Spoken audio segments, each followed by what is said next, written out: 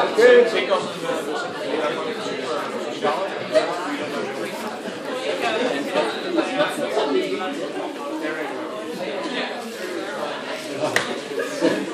It's your Monday morning wake up call. Nog, nog geen Halloween. Sorry. Zijn we al op het hart samen? Ja, maar kijk, ik heb het zo.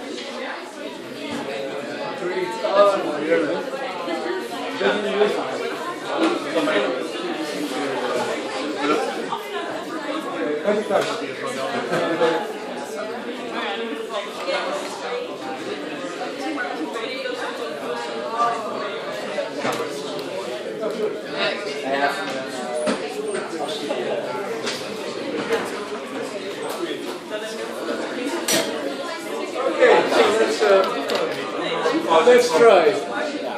So with this level of light, you'll have to stay awake. Um, so can people in the back hear me? It's nice to see that rooms appear to adapt to people. The room was too small before, and now the size seems about right, so that's very good.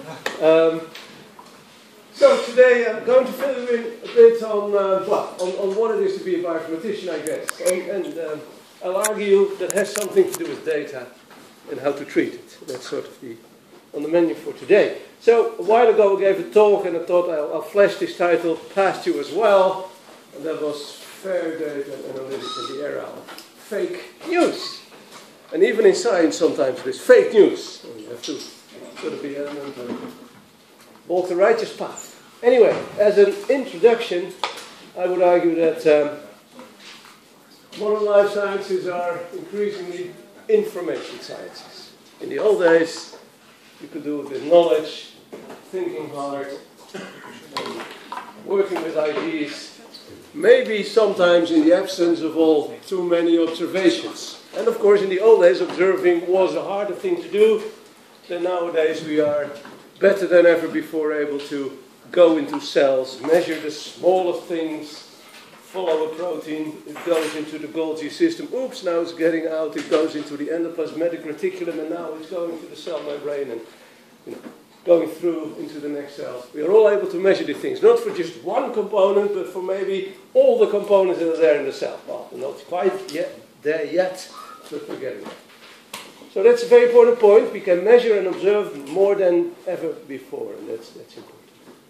Uh, another thing is that, that um, you know, in the old days there was physics and chemistry and biology, and that we have that for centuries. So those are the pillars, and now you see that a lot of activities are emerging in between those pillars. By the way, those pillars themselves, the physicists nowadays probably don't do exactly the same as what they did two centuries ago, right? The pillars themselves move as well.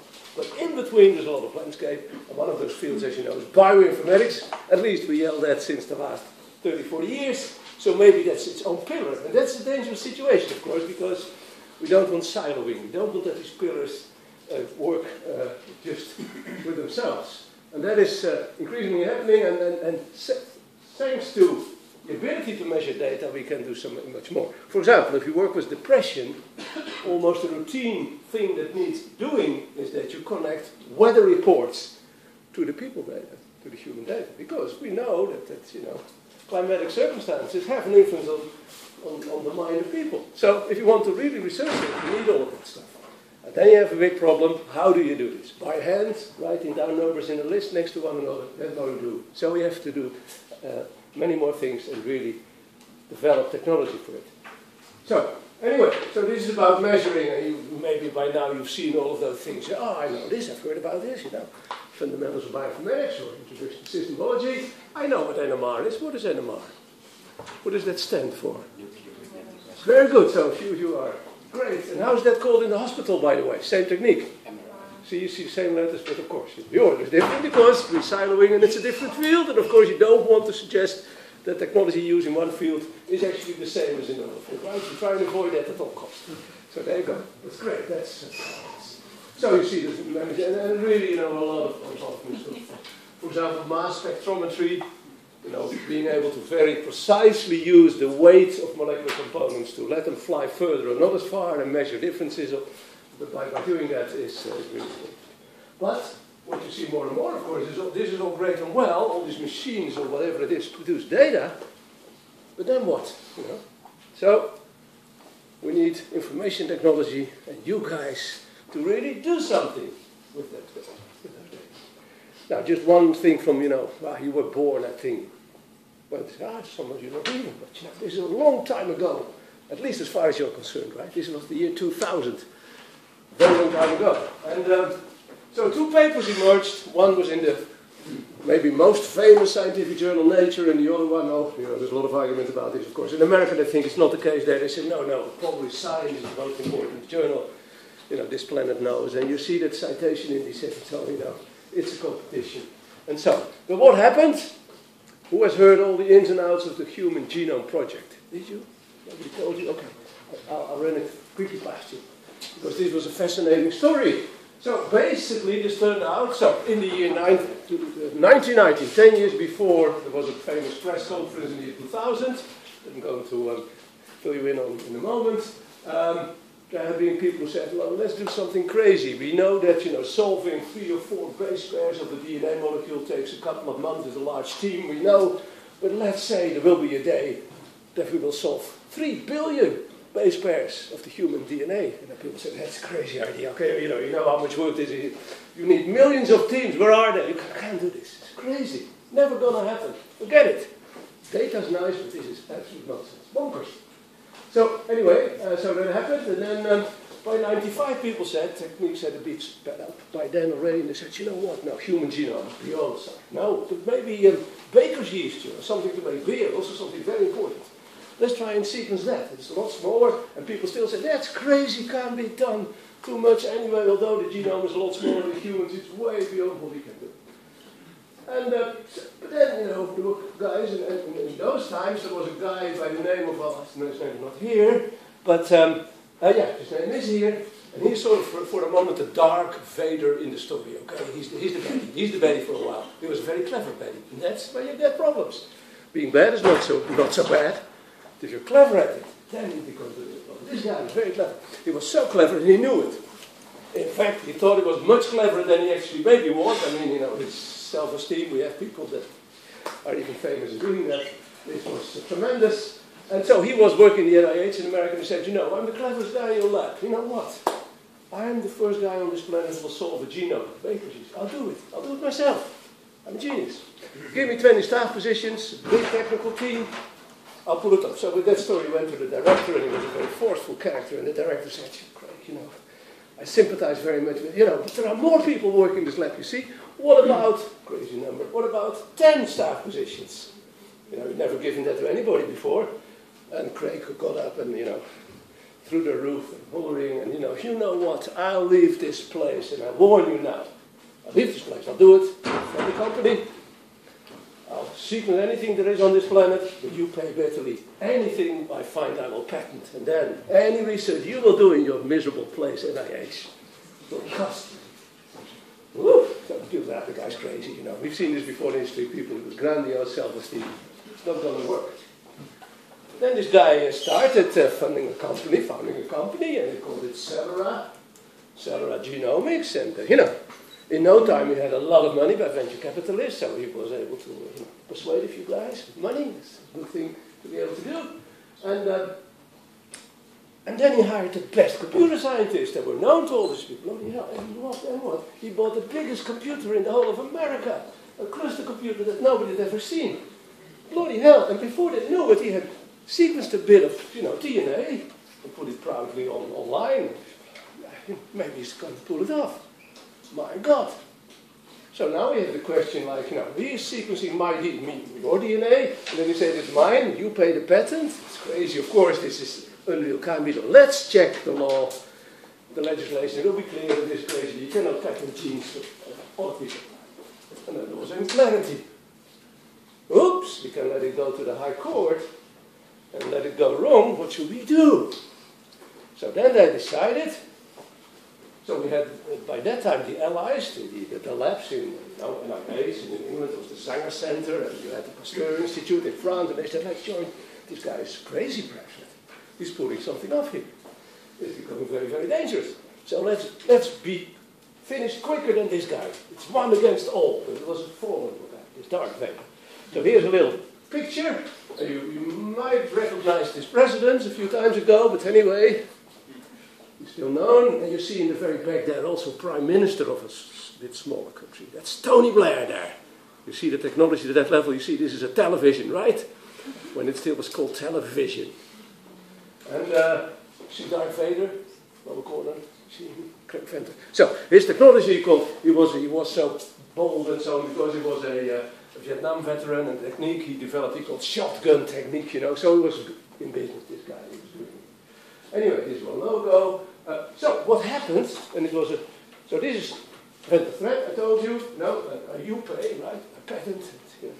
Because you, you didn't give me all those staff positions. Now I'm going to do it of my own. And I told you already about the shotgun method. But anyway, there was this press conference, 26th June in 2000, when the bitter enemies, the allies against this one company, in the end said, look, it was decided a week before the catastrophe. And three weeks before a press conference, with a nice saying by Bill Clinton, was there that they, that they decided, the Allies thought lost. We've lost. Venter's going to win. Then there was a little guy who said, because we can't pull the information together. We have all the snippets. Calculating it, doing the, uh, the, the, the, computation of getting all these little pieces together, pasting it all together, we can't do it. And then there was a small guy in a, in a room up in a loft somewhere in California. I don't know are there, but he was working alone all the time. He said, I've got a little program here. Let's the day for the world, for better Um, anyway, so you know the stories, I think. This is the, you know, this was the president who was able to say beautiful things. You see, without doubt, this, uh, Clinton was good at that. Um, most wondrous man ever produced by humankind. Now, I'll, I'll show you a few jolly photographs here, so they look all like real friends. Here is director of the NIH. And this is Craig Venter here. And you see that, you know, they shake hands. This, this smaller guy is in the middle. But he was specially trained. He was a bodybuilder. You can't see it, but he was able to, you know, to, to keep these two elephants apart who killing one another. And you see also a handshake, and you know, what Trump did at the beginning of his career is no comparison. You know, they were here, you know, they were trying to squeeze each other the hell out of each other. You know. So we're friends now. We're all friends. So, um, oh, this is uh, Eric Lander here. I, I, know him, and he told me the story. He was in the, the Broad Institute in Boston, also involved in the project as an ally, the allies. And he said, I got a phone call. I, he vividly remembered it then, and probably still now. It's nine o'clock in the morning. I, I, I I take the phone, I say hello, that's what Americans tend to do when they pick up the phone. And then the other end, somebody said, hello, good morning, this is Bill Clinton here. the guy said, Mr. Clinton, what can I do for you? Um, I hear there's a problem with the sequencing project you're running there. Um, so I hear, you know, you want to speed up. So could you use a bit of money for that? Uh, I suggest you take five million now. So he said, ah, well, you know, I could do something with that. I will, positions, you know. So that's what he did. And Clinton handed out a couple of chunks to all kinds of people across the US. So that was maybe the first time the politicians were in on the urgency of a scientific matter, right? I would hope they do this on another small scientific project like climate or something. Well, how it is. They operate much better here than they do now. So is that amazing? Yeah, we, we can be happy about it, but you know, in the larger sort of vision about this globe, I'm not too sure. Anyway, so they became friends, and the rest, oh, it didn't so really, the decision to organize this press conference with Tony Blair somewhere is a little video. He's, uh, can't get away with this guy, right? He's always there. So anyway, um, you know, he was there, and they organized it all, and the world was there. They organized this in two to three days. I think on the, this was 26th, Either, I'm not sure anymore, on the 24 or 25, they said, okay, let's make this party, we're friends now. The phone calls were frantic and done, so it was really sort of, you know, we're friends now, do it quickly. And that's also because the government had invested so much, so they wanted to show that this ended well.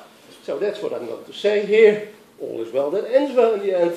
And of course, more importantly, we're all totally friends now. So, Craig Venter then thought, oh, okay, I've done this project, now do the next one. Solve all the proteins on the, on the globe and all the genomes. One was not enough. So he started, you know, he was rich by then.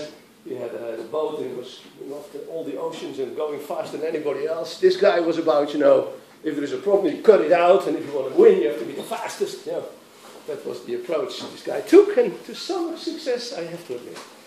It's not the most sympathetic of uh, approaches always, but okay. He at least got somewhere.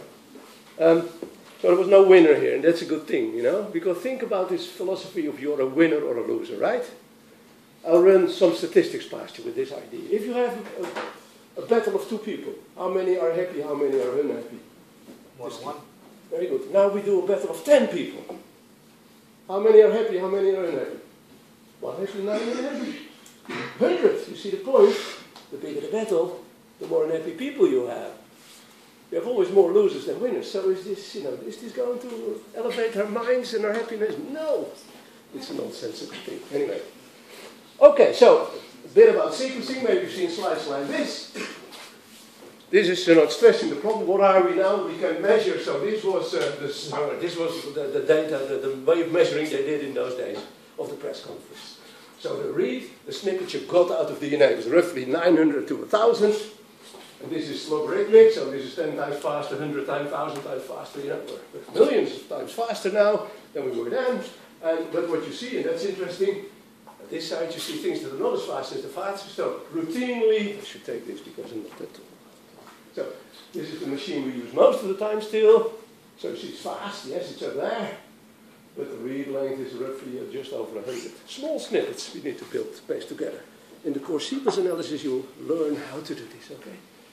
So bear with me to the next course. Uh, so this is interesting. I'll show you this machine is interesting. Now we have these ones. So the read length, and in the end, ultimately, and hopefully by the next generation we can do it, we have a human genome of 3.3 billion letters or base pairs. Just put it through a pore, the whole thing. Well, we have 23 chromosomes, so the problem is now. It's a shorter fragment. But anyway, you run that and just use flash photographs. You just photograph all the We're close to that sort of technology, right? So then we don't have this cumbersome stuff like short snippets that we have. We don't know where they should be in the, in the genome, and we need to paste it all together, and that's a big computation. Okay, so here, that's the machine. It's getting interesting. The read length is now 10,000, we're going to 100,000. So we are somewhere. So this is a, you know, this is a big screen. So this is as tall as a person. That's the, the machine we routinely use at the moment. Here, this is the size of what? A memory stick, believe it or not. This is a memory stick and this is a complete sequencing machine. And to do all of this, you need roughly a suitcase with stuff, with some chemicals and so on to store. But you know, you can go out into African nations, and Ebola is coming up again. I was reading in the newspaper a few days ago. So Ebola patients are now being sequenced this. You can really go into the hotspots and do the work. So that's uh, that's fantastic. That stereo images now, you know, more depth. Anton is uh, worried that I'm not deep enough in my lecture, so he tries to raise the visuals in this sense. Anyway, I hope I've been, you know, I've, I've illustrated enough by now that bioinformatics or all of this biotech and, and, and, and, life sciences is sort of a nervous field, right? Always there is something, you know, people are fighting, and then you think you know a technique, and a new technique comes up. You think, you know, you, you have your data set, and bloody hell, they're measuring new stuff and, and other stuff. You get used to that. All the time, new technology, new format standards. A lot of hype, of course. My technique is the best, and we prove it in the next paper. And so every now and then, even some new insights emerge, and that's important. Now, if you don't, you know, you're all here, I know, for a few months, but there is still a way out, you know. I'll show you. You know what you should study if you don't want this? Here is just a suggestion, okay? Old ancient Greek philosophy. How's that? Great field, very interesting. How about the data? Every now and then a very old book might somewhere be found in a library, you know, or something carved in stone, literally. So the data's not growing too much, the insights change a bit, but not so dramatically. So, you know, this is a field, you can sit there, read your books, relax, take a coffee, not this buy from them, oh, know, measure this, oh, go there, go talk to these people, oh, you know, it's too late, phone call. Anyway, so that's tough, right? So, to um, argue a bit more on this, so 10 years ago, there was the, this is about insight, right? We, we found, we looked for the sequences, next course, sequence analysis, and they said, look, we have all kinds of conserved elements here. And you know that by now, because you're running BLAST, right? You know conservationists. And, and, and, and they said, okay, that, that's important then. You've learned it's important. What's conserved is important normally. And they uh, so has a function, and they couldn't find anything. So, what do you do if you want to introduce something new in science? You give it a name, right? Name is very important. Good name is even more important. And if you don't understand it, you give it a great name. So what did they call this stuff? They called it hotspots. What was the definition? A hotspot is a conserved area we don't know a thing about. Okay, great. Anyway, so that we were just getting used to it. Okay, we won't find out what it is. It's something hidden there. It has to do with some structure. If you don't know, you fill something in. It is a structural reason, you know. We will measure that later on. We shouldn't worry. And then, you know, we're just used to that. And then uh, people found out, oops, there is not only protein coding genes. We knew that. There is uh, RNA level stuff is happening. And at once something came up, and they called, no, his name as well. They were small, so it was not so strange to call those microRNAs, and before you knew it, it was called miRNAs, microRNAs. And you know, these regions they had called uh, hotspots now turned out in many cases to be the regions where microRNA were coded, small regions. So, we learned again, and now it turns out that bloody hell, diseases like cancer is nice to be able to solve. MicroRNAs are tremendously important in cancer research. It is a new, whole new layer of, of in the cell to be able to control things, to to regulation. Anyway, so a real new layer. As if you've been in a hotel forever, like in America, and no, many countries there is no 13th floor, right? And at once you're on the 13th floor. You don't know why. The elevator stopped. The number is not there, but it's not there. You go in. The doors don't open anymore. You know, you can't get out anymore. But then you look, you see all these switches on this floor, and it turns out the nervous center of the whole of the hotel is on that floor. You'd never seen, right? That sort of feeling you have, that people have. Bloody hell, you think it's a small new thing, but it has enormous consequences. Understanding the, uh, the system, as you want to understand it at the systemic level. So that's, that's one thing about knowledge and so on. And then the nervousness goes on, of course, because, you know, I'm, I'm going to argue a lot about data from, from now on. And, you know, people have various names, and tsunami is a bit of, you know, a term that is certainly know, politically charged at the moment, you know, as we are into the, uh, the effect of one of large tsunamis very dramatic effects. Um, but you know, data plethora, the data, whatever it is, you know, lots of data, an avalanche of data. And uh, so, in many fields, not only in biology, you know, really people, you know, it's too much, you know. Um, Facebook, they have a problem dealing with the data. Of course, getting, you know, they can't get the, the policies right. The mobile industry, more is happening than ever before. Keep the stability is a big, big problem. And I'll show you a few slides uh, on, on, on bio in a moment. So, of course, one of the things, how can you really you know, convert all of this data? Because that's often the question. How do you turn that into understanding? You measure a lot of stuff, but how, how does it help you to formulate in your mind, in your head, what, what is really happening? Okay, and then what was the old trick? In bio, bioinformatics, we used to say, you know, we don't have enough data. You know, 20 years ago it was an easy thing to say, oh, always right. Not enough data. Measure more, then we understand it.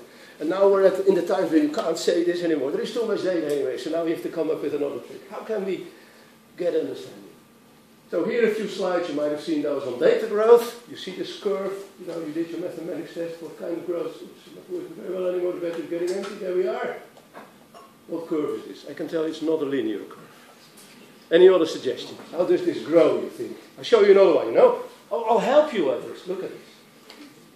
Here, this is a logarithmic line here, the scale, and what is this? It's growth by definition if the line is straight. I'll tell you, it's exponential growth. Some people call this also logarithmic growth, which is in fact the opposite, but it's the same growth. That's a historic thing. But you see sometimes that here, that even, you know, you see that this curve is rising up, right? So that's growth that is faster than exponential. There's nothing like it. It grows like crazy. Talk about the literature. Same thing. Can we do? How do we deal with this data? It's doubling ever so often, right? So that is why people started saying, and then it was sort of, we were in the Times a couple of years ago, when you got economists saying, look, you know, what is on display? We didn't know what was there before. We have data. And there are even companies that start making money in data. That was a while ago, right? Now routine. And here it was, you know, welcome to the Yotta world. The Yotta byte is 10 to the power, I think, 24 bytes, big number, right? It's a giga, giga, giga. Giga nine, roughly. Giga, giga, giga. 100 giga, giga, I think. Anyway, 10 to 24. Um, so, and the people said data the new oil, or even data the new gold, you know, so it was, uh, it was uh, a lot was happening. So what is one thing, and I, I saw an old, sometimes if you, you're, you don't know what to do, you, you, you can find recourse in So there's in religion, and here is one. It was not a religious statement, but it was by a priest, French priest who used to live in Belgium, and he said once, and there are various statements this, this person made, you know, I've seen, uh, are still known until today, that, you know, genius do, you know, even Archimedes couldn't do what we can do today. He was just as clever as we, maybe even cleverer. He was thinking a lot, but he didn't have the data. Then it becomes difficult. So data is important. And, you know, a bit of history for you.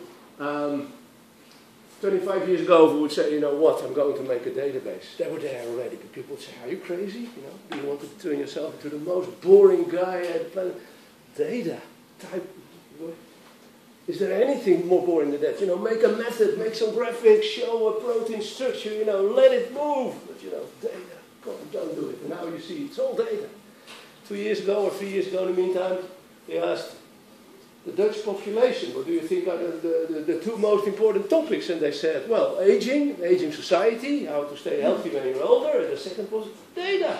Amazing. Well, here, 25 years ago, people would have said, you know, this country, you know, let's, let's make it fall apart. You know, this, this guy can't be helped anymore. So you see there, is, there are many, many projects. Elixir, I'll fill you about this European Data for the Life Sciences project. We have the, the, uh, the Big Data to Knowledge project in the, in the US.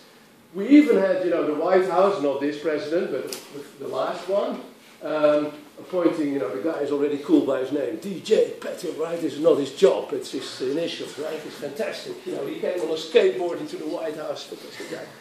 And he was running a project called Precision Medicine. It was all cool, you know. It was, of course, PMI by then, you know. Very cool guy, GJP, you know, running PMI on the skateboard. He's enormous. So here you go, and you will not see the current president, I think, at least that's my theory, with, and this is a real molecule, it was not pasted in, he, he stood next to these molecules, DNA. And it's right turning, you even have it right. DNA should turn like this, right? Goes up and then it turns. See, I already asked you this. Theory. So, you know, there you go. Politicians and science aligning. That's, that's, that's very good. Okay, um, you know, step back, what, what data? How, how were we doing with data? In the old days, there were scholars, there were lots of scientists, they were reading books. You know, remember these things? Heavy. You know, it's instantaneous, like no starting up, no booting. I heard a story of a child of three years old not too long ago. This country, but it could happen anywhere. She got a book in her hand. Was given to her open. And then she thought, hey, this is interesting. You can go maybe to something we know is going to the next page. You know, how she did it. Didn't work. The page didn't so anyway, so you see that we get a generation that, you know, won't know what books are anymore. Maybe that's not bad at all. Old guys like me would say, oh, that's terrible. Now the world is over. no, uh, forget it, you know. Other things will happen. But we have a few questions here. In the old days, you know, books were for elite. This is, you know, Dutch. I remember that, that in my days when I was young, having a Winkler Prins dictionary was something that happened in families where you would say, oh, that's respectable. You bought something, and at once you were respectable. Isn't that amazing? And, and, and you know, you would not never open that. Who's, who's ever reading in a dictionary? No. In those days, with paper, people like this. But, you know, so that meant, but there was a statement, and in many languages you have it. How do you, how do you know what you say? How, how did you find out? And then you would say, that was enough. I've read it. Ah, you've read it. That was provenance. That was showing the value and the truth. I think nowadays that statement has lost a bit of its power, right? I've read it. Where? Well, on this website by this Russian group. Whatever. Oh, okay, that's very good. Yeah. Uh, so, uh, so a few questions here. How should we deal with this data? So we've become tremendously democratic. In the old days, it was for the elite. You had books you could read, so access to information was for privileged. Privileged. And now access is for everyone. Hardly any person on this planet doesn't have a mobile phone with a connection to Google or something like that. You know, but, you know that's why you're sitting here, I think, in large measure. How do we deal with that stuff now? Fake news, also in science. Some people say that, in fact, that's also a thing to think about, that the quality of Wikipedia, Wikipedia gets criticized, right? There is also things that are not always true on Wikipedia. But overall, the quality of Wikipedia is at least as good as the body of scientific literature. So, errors and wrong assumptions are happening at a daily basis. So how do you deal with that? So, um, so how do we deal with, it, with the tsunami of information? How do we treat our data, by the way? I'll show you a slide in a moment. And how accessible is scientific data? how easy it is to um, get to the data that is measured about a certain individual in the US. Very modern country. Put stuff on computer disks. How accessible is it? Are we there? Can we just say a rare disease? We need to pull the patient data. Press a button. It's not there. So it should it be there? Maybe. So here we go. Small story to run past. Stephen Keating, brilliant student at MIT. He was very interested in, um, in, in um, uh, what is it again, neurobiology and so on, and he fabricated 3D printers all by himself, so this guy was uh, interested in technology, he was very young, and then, you know, there's a long slide you can read, but I'll tell you the story, we'll go back to that in a moment. So this guy was brilliant, and uh, it was um, a brain, new brain scan technology was being developed at MIT. He was in that field, and he said, oh, that's very nice, can I, can I just join, you know, I want to see how my brain looks. So couple of people did it just for the sake of science and, interest. And then they told him, look, uh, Steve, yeah, now we see a little spot in your, spot in your brain. Yeah, you know, nothing to really worry about. It normally goes away anyway. It's not in any dangerous zone, so don't think about it. You'll be fine. That's what he thought. Then a few years later, he developed on a daily basis, two or three minutes, a very strong sense of vinegar smell. So what did he do? Who's using vinegar? I hate the stuff, right? So he asked around, he said, oh, nobody smelled anything. Oh, hey, every day it comes up. That's very strange. And then the guy was brilliant, I told you. He thought, ah, by the way, that spot they told me about is sort of, I think, in the area that is the smell center of my brain. So he panicked, of course. And he went back to these, these guys from Russia. He said, do it again, do it again. You know, no, I'm, I'm scared. And he said, oh, no, no, you know, you, you, how old are you? Go away. You know, this never happens with this. So he went on and talked on persuaded people, went into the clinic. Then they did another scan and they found a tumor in his head that has the size of this picture here, because this guy has printed his own tumor by the 3D printer he had fabricated himself and gave it as a nice Christmas present to the wider family. I don't know, you know, if that is very nice, but anyway, that's what he did. Okay, so there you go. So, and then he decided, I can't work, I'm ill. I love data, I love neuro, I want to find out what bloody hell, you know, is the cause of this cancer being in the brain of a young guy like myself. I use all the energy I have to find this out. Give me my data. And that is where it stopped. They said, no, no, no, no, no. Data privacy. We cannot reveal the identity of this data to you, sir. This is my data. Uh, sorry, we cannot reveal the identity of the data to you, sir. And, and, and, and so, um, so it happened. This is the story you can read. So he, here he's about, ah, and this is, he had an uh, open brain surgery of 10 hours to get this region out, scary stuff, because they needed, it was in a center that was not easy operable, so they had to look at all the reflexes. Anyway, this guy went through a bit of things. But then he had a few questions, you know. He said, I, I, I can't even get my data. Everybody's just blocking me to getting to find out this thing. How can it be that, you know, intelligent citizens are just blocked and impeded and sabotaged at, at what they want to accomplish? There is something like citizen science, people say. Why don't you allow clever people to think along with scientists? Why do you block it? You block even the scientists. So what is it? What's happening with data? Why is there not a hospital share button? Why are not patients the boss of their own data? Why do hospitals say, look, your data, we decide, it's ours. No, it's my DNA, bloody hell, you know. Okay. So we need a click button for every citizen where you say data can be open, data should be anonymized, you know, people should be the champions of their own data. So we should work through uh, towards an infrastructure that supports those notions, right? And here is what he asked those questions. This I'm telling this story because this was in all the major newspapers in, in the US. So this story has, has flown, and people, even hospitals, said, "Ooh, yeah, Stephen Keating, you have to do something about it." That's a while ago. Now you see again that this. Don't move, you know, do it a bit, you know, it's not fly past, and we can do what we want. Right? We want to be the boss of our data because we, they tell us data valuable. So we, we're not going to give this away, right? So it's a whole total misconception of the power of internet, of the power of sharing, and so on. But still, it happens.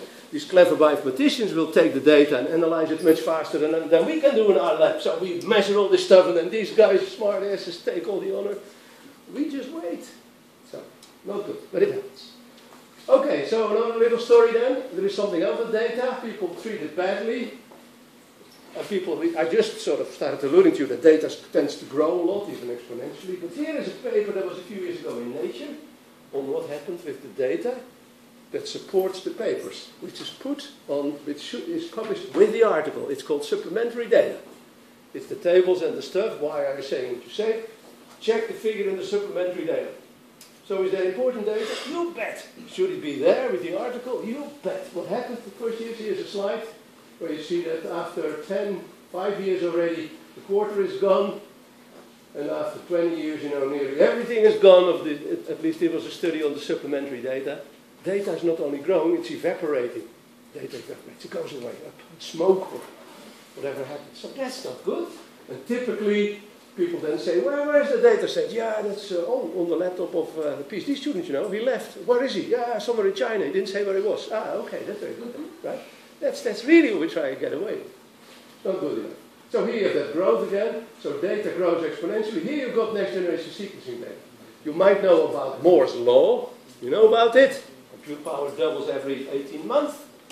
You can calculate twice as fast. You can store twice as many data on the collective data storage devices the planet knows. Uh, but nowadays, and this is not, this is, this is even speeding up, you know, the doubling time is even getting shorter, is six months at the moment, five months. How can we store the data physically? Even if we say, you know what, from next year or so, Facebook, forget it. We need to, this, disk to store genomics data. Do you like it? Of course, the world will say, yes, let's do this. Fantastic idea. We're off Facebook anyway. Let's put only genomics data. We'll lose. Can't be done physically. So what problems do we? What can we do? Compress. That's a good technical term. Like compress the data. Make it, uh, store it more efficiently. Ah, okay, you can only do so much. Then it's not a great idea. Uh, a lot of the measurements are just a lot of data. To, to in the end, out of a genomics experiment comes a boring sequence. Letters, 3 billion letters for a human. That's not so much data, 3 gig or so. That's not much. But the experimental data is roughly 100 100, uh, so a terabyte or 100 terabytes, approaching sometimes petabytes. So then people say, you know what? We throw that away. If compression doesn't, we just throw it away. And you know what? Then when there is some issue of strange letters here in the DNA, okay, let's measure it again. Let's look at the data. Ah, the data's not there anymore. What do we? Ah, let's measure it again. And then, hey, but what do we need to measure it again? A DNA molecule, at least one. Ah, what are those? So now you see that, that uh, biobanking, that's the phrase for it, so the fridges are bought at great, so you know, because of this requirement, you see now that biobanking is more fashionable than ever before, so fridges in places, hospitals everywhere, all IT systems, we need this little thing of this patient, the robot goes into the room, five hours later it comes back, sweaty at all, here it is. You know. And even it has to do with fridges, so if you sweat then, it's a lot of work. Um, so that, that's what's happening. So you see the world, you know, one problem leads to another solution, leads to another problem, leads to, you know, that's, that's all science. Anyway, how important is to deal with this data in a proper way? Here you go. Also in a paper a while ago, basically this is about reproducibility, having data, being able to redo experiments to check how the dependencies are. You need well-measured situations. And basically, you might say that at least a quarter of all cost in the biomedical domain, and we talk billions and billions here, this is the US uh, statistics, um, is lost due to bad treatment of the data. Oops, it was on the laptop of a guy who left. Right? Oh, this Excel sheet is not compatible with the next version. And it's all in Excel, yeah, but it doesn't hold the data anymore. The, the, the, you know, Excel is not made for this. Anyway, we use it. Okay, so those kinds of things. Right, so um, with all this trouble, where are we heading? Still, we're heading towards the answering the big questions, right? We, we talk about personalized healthcare, meaning the uh, individual identity, such as reflected by a DNA molecule, is used for research. What is the best drug ever produced, according to Big Pharma, you think? Who has a name? You have it all, you've eaten it all. It's very cheap. It's called aspirin. Have you heard of aspirin? Who has not taken an aspirin so far? See? There you go. And that's my case. Everybody, including you. And uh, so what is Bayer? They were the inventors of that. They said, that's the greatest thing, you know. It did cost a lot. It was sort of, you know, we once found it. We stumbled across. It's, it was cheap in development cost, and everybody absolutely eats it. Beautiful, that's what we want. We call that a blockbuster drug. And now we're telling with all of this personalized, you know, big pharma, we have all these people, you know, we now work out on a medicine for every condition, different one, because every person needs a different treatment. So you go to Bayer, they say, well, there's the door, no, here's the wall, you know, I kick you through the wall, go away. You know, we need blockbuster drugs. So what do we do? I'll get back on that. So, so here is a bit of things. So we do a lot with big data. And then, you know, uh, the stories are told, and you see some hypes here because these medicines, this is for cystic fibrosis. I'll, I'll show you the disease at the end of this lecture, I think. And there is Herceptin that was claimed as one of the big successes, the first rational drugs, protein structures made for breast cancer, uh, hormone receptive breast cancers. So, very important medication. And they said there's big data, and they look, no, in fact, it was more than knowledge by molecular biologists who knew these structures and were looking and turning and looking again and asking colleagues more than just, you know, all of this gratuitous loading of data looking at it. So there is hype there, but still, you know, there's a big place to be taken by machines, sequencing machines like that, for personalized medicine, but we always have to think, you've maybe seen these curves, there's also like sort of an exponential curve, but in the other way. There are a few dominant courses uh, causes of disease, sorry, causes there. But then you see that, you know, there is one disease, and then, oh, but it could also be this. It could also be this. Oh, there is one in a hundred patients that have this gene up. Oh, and there is even sometimes, oh, and then it's very bad if you have that, because then the, the symptoms are worse than, than with the dominant case. So how do you treat a disease? And I'll show you one CF in a moment where this is really an issue. It's all simple, but then. Okay, but still the idea of personalized medicine, and then we're going to drink a cup of coffee, I guess, is, uh, you know, this is healthy here. Here's where people are, healthy people are. And then here is sort of the, uh, the, the, risk, the danger zone. This is, you know, where you, you, you might, you, you're up in the, in the, in the chances to, to attract some disease, let's say or like cancer. And here is when the disease phase clicks in. So in the old days, you went to a doctor, and then you would tell the doctor, like, oh, I think something is coming up in me. Go home. I'm here to treat people who are sick. You're healthy. You're not fine, falling down in front of my eyes. You know, you're okay as far as I'm concerned. Go away. Anyway. And um, there are this, this, this Dutch joke, right? Or it's a joke made by foreigners about Dutch GPs and healthcare. So you are there in this country and, you know, people are nice to you, but you, you get a very bad stomachache. So you, so you, you barely make it to your GP. You say, what, what's that? Ah, I think there's something here. So look, the guy looks at you and he says, ah, nah, mm, you know what, go home. We watch it for two weeks and then come back. So you ah, they're getting worse. Oh, so in the you know, you get to the GP after two weeks. You're there, and then the guy says, ooh, you were here before? I think, now it's so bad, you should look at least another three weeks at this, right? So, ah, that's, that's, uh, yeah. So, you know, there, there is uh, two ways. Things, problems go away in two ways. You, you might get okay again, or you just die, and the problem is over too. So I think the system is sort of. Anyway, some foreigners take some issue there, but uh, you know that's how we do things. Now, come on, you know, we talk nicely to you, and then let it let it go for another piece. So the idea here is no, no, no, that's not so good. Even if you're here, we know and we try to, to, to put you back into the health zone, so to speak. And here we know so much that we can quickly. But again, Personal drugs, a problem. So what can we do? Combination therapy, perhaps? They can come eat an aspirin and something else, and something else in certain dosage. What about an orange every day? You know what? You eat three oranges. That's because the GP tells you. Vitamins, nutrition, lifestyle. You go, we know for breast cancer, for example, that exercise is tremendously important. Go to, I, I had it one of my best friends died a couple of years ago. We were at the best specialist of kidney cancer, and I asked, what kind of daily regime would you, would you suggest here, this guy? Because he was training like a madman. But also I told him, look, do it. It's good for you. You know, you fight it. You, it's good for you. And this guy said, I don't care. I'm here to treat people who are ill. Come on. Don't talk to me about lifestyle. I'm a doctor. So, there you go. So we need to change the culture here and. And that is what we what is going to happen. Um, what will happen. So connecting a lot, bit of stuff, you know, wearables, people wear blood pressure, You have loads of stuff. In the end, there will be chips in your arm and so on, not only when you're a member of a certain nightclub or anything, but you will have a whole battery of stuff. You might move, you know, back then, what was this? What is metal everywhere? Forget piercing, you know. We do a whole different story. And, and uh, I don't know, but you know, a lot of data will be produced at a daily basis 24 7 by people. This is all. The idea is we can start doing this. But how do we organize? How do we treat all the data? So another thing is here, there are a few categories of drugs, you know. Most drugs are uh, here. They're very toxic and they're not beneficial.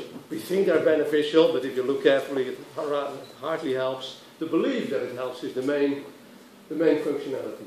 So here is what you want. You want a drug that is not toxic and that is beneficial.